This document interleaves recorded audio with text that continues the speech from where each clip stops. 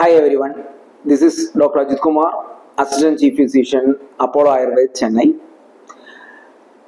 Different types of uh, ages may come with the same type of complaints called I have got a knee pain or I have got a joint pain. This is what we call arthritis.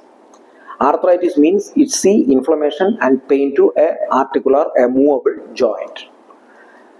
It can be because of the aging and wear and tear because the cartilage of the articular joint is getting eroded or it can be uh, the articular joint cartilage getting damaged by an accident by a trauma and later the mucoid secretion and the self repair doesn't effectively happen. So it ends up as a secondary osteoarthritis or uh, it can be after effect of a viral infection like chikungunya which softens the cartilage and again the cartilage is eroded off resulting into a secondary osteoarthritis.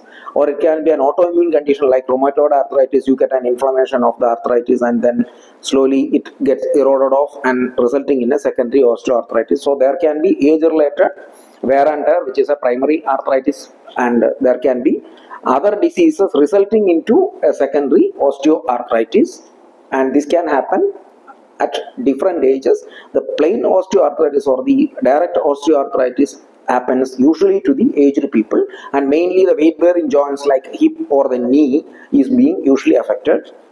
Ayurveda uh, provides very effective uh, management of this wear and care. it, we will man- will be managing the pain swelling inflammation and uh, we will be trying to re-establish the uh, mobility of the joint and your day-to-day life without much complication. Uh, trying to arrest the possibility or preventing the possibility that ends up into a uh, surgical intervention as far as possible